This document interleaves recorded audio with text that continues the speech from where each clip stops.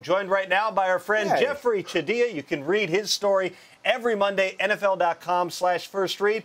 And Jeffrey, it sounds like the Rams are a team that you think might be a little bit better than their record indicates here.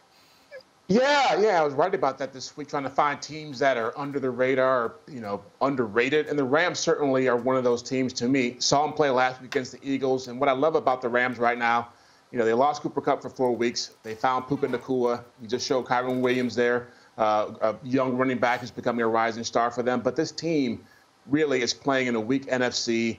They've got a great opportunity to land a wild card spot. I look around that conference and I say, who can be better than this team in the wild card race? And I really can't find anybody. And that speaks to what Sean McVay has done.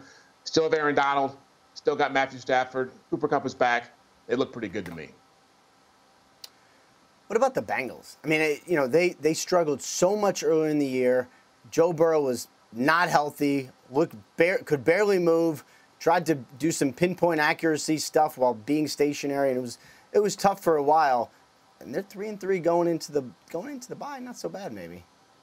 I, I, I agree with you. And for me, I, I don't really worry about Joe Burrow except for him getting hurt again because when he and Ja'Marr Chase are doing their thing, they're pretty good. Uh, what, what I always question, what, the big question I had about Cincinnati was the defense. Losing Vonn Bell, losing Jessie Bates, and you saw them step up in that game against Seattle in the fourth quarter twice. Seattle had opportunities to go ahead with a touchdown. They couldn't get it done. They got big sacks, big defensive plays, knocking the ball down. So I feel like if Cincinnati's defense can come around, their offense will be fine. So again, that NFC, NFC, AFC North, they're in pretty good shape. I just did the highlight on the Houston Texans, uh, Jeffrey, and not only did they have three wins in six games, three impressive wins Pittsburgh, Jacksonville, New Orleans. Three teams Yeah. that might be playing uh, into the middle part of January at the very least here. What do you think of the Texans right now?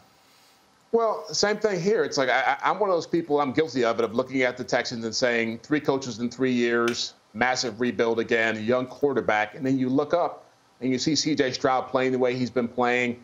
Going into that game against the Saints, they were a top 11. They were 11th in scoring defense, 11th in scoring offense. They're balanced. And for all offseason, they talked about how they wanted to build a team around whoever they were going to draft at quarterback, and they've managed to do that. Not a ton of star power, but good at quarterback. Offensive line has been banged up. They found a way to get through it. They're resilient, and they believe. And They got a great schedule coming up. They got four winnable games in the next six weeks.